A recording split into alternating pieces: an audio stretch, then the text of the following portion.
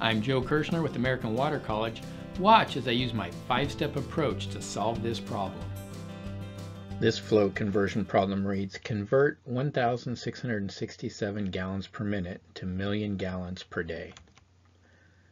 So we're looking for MGD, and they gave us a flow of 1,667 gallons per minute. Well, looking at our equivalent uh, sheet or our constants, equivalence, and conversion factors, they give us that one day has 1440 minutes in it. So we'll go ahead and use this to convert GPM, gallons per minute, to MGD. This is one way of doing this problem.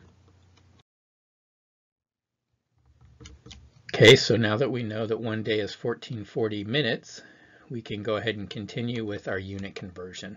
So step five is where we convert units. So we're going to enter our 1,667 gallons per minute. And notice how I separated the gallons and the minutes, gallons slash minute or gallons per minute.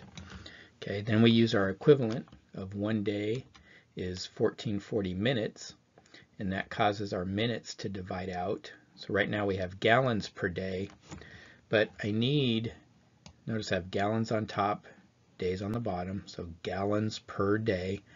I need million gallons per day, MGD.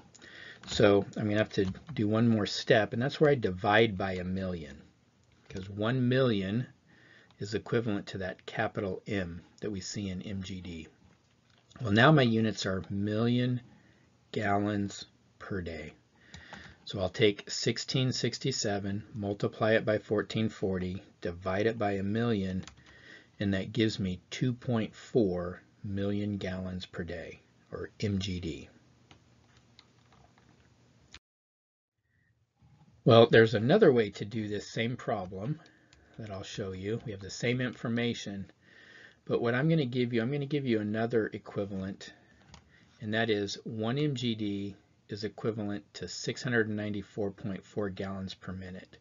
Now this is not given on any equivalent sheet uh, for most uh, state licensing exams. So you'll want to remember this. 1 MGD is 694.4 gallons per minute.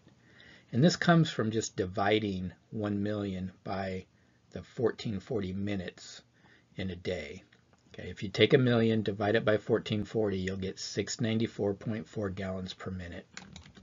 But this makes converting between GPM and MGD a lot easier if you know that. Because what I'll do in this case is I'll just take my 1667 GPM and then I'll use that equivalent that says there's 694.4 gallons per minute for every 1 MGD.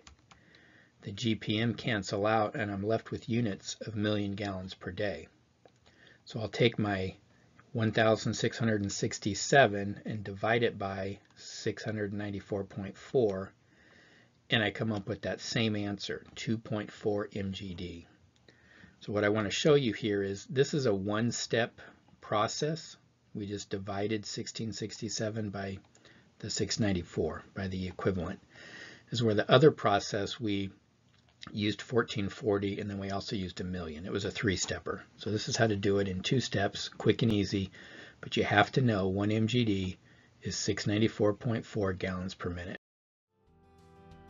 If you need additional help preparing for a state license exam, click the link below and we'll get you some more information about our license-specific exam prep courses.